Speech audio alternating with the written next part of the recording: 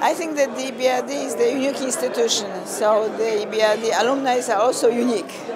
And uh, because this bank, it was uh, created uh, in uh, specific times for specific uh, uh, goals, and especially in the beginning, but I hope that also now, people gather in the bank because they wanted to make the changes, changes in the former Soviet Union, changes in the former so-called uh, communist countries. Uh, then I can see that they can serve uh, the other countries also in Africa.